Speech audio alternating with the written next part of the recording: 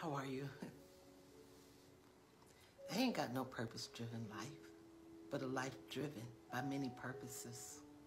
You know, all those things designed by God that says we should do, how to do, when to do, and what to do. God don't make mistakes.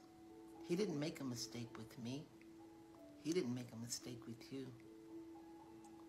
There is power in purpose, perseverance in purpose, prosperity in purpose. There's purpose in purpose. Make it a purpose to put away the many plans that are in your heart.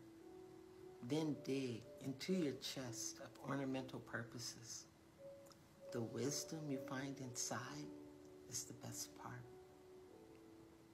Proverbs 19:21 has more details on how it is the Lord's purpose that prevails.